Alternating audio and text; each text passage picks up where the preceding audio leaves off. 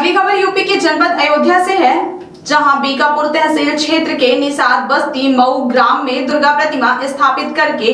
भक्ति भाव से पूजा अर्चन का काम जारी है। इस दौरान मछुआ समुदाय के अनेक लोग माता की भक्ति में लीन दिखाई दिए। ग्राम प्रधान परशुराम निषाद ने जानकारी देते हुए बताया कि कई पीढ़ियों से परंपरागत रूप से मनाई जाने वाली दुर्गा पूजा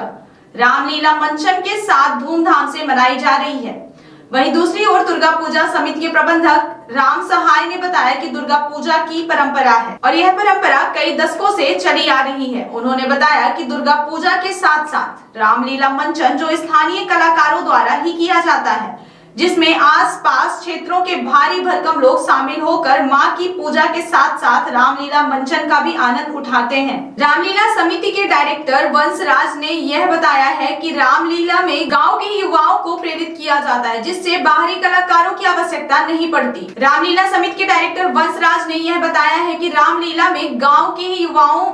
को प्रिपेयर किया जाता है, जिससे बाहरी कलाकारों की आवश्यकता नहीं पड़ती। उन्होंने बताया, कलाकारों की यह भावना टीम एकता पैदा करती है। मैं तो सबसे पहले जो है, आज यहाँ पे नवरात्र के अवसर पे हमारे ग्राम सभा में जो माँ दुर्गा का स्थापना हुआ है,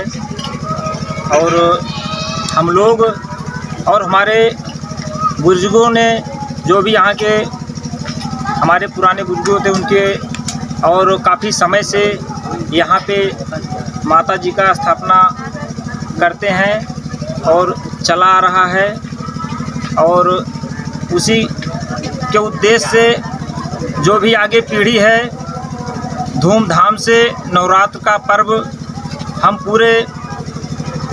ग्राम सभा सहमति के साथ पूरे ग्राम सभा यहाँ पे इकट्ठा होते हैं शाम को और धूमधाम से मनाते हैं। और ये आभारी हैं कि जो आप अपना देते हैं, हार्दिक शुभकामना देते हैं। और इन कमेटी को जो भी ड्रामे की कमेटी है और दुर्गा पूजा समिति है, रामलीला समिति है, मैं सभी को नवरात्र के पर्व पे, मैं ग्राम सभा की तरफ़ से हार्दिक शुभकामना देता हूँ और कृपा करता हूँ कि हमेशा ऐसे